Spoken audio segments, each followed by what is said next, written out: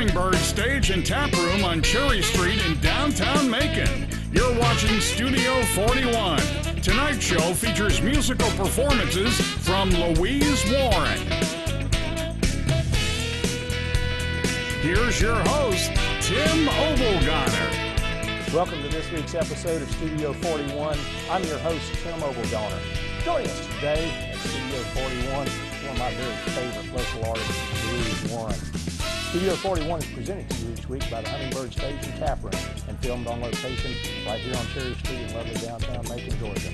When we come back, it'll be Louise Warren on the Hummingbird Stage with her original Rush. Don't go away. We'll be right back after these messages. You're watching Studio 41, brought to you by the Hummingbird Stage and Tap Room.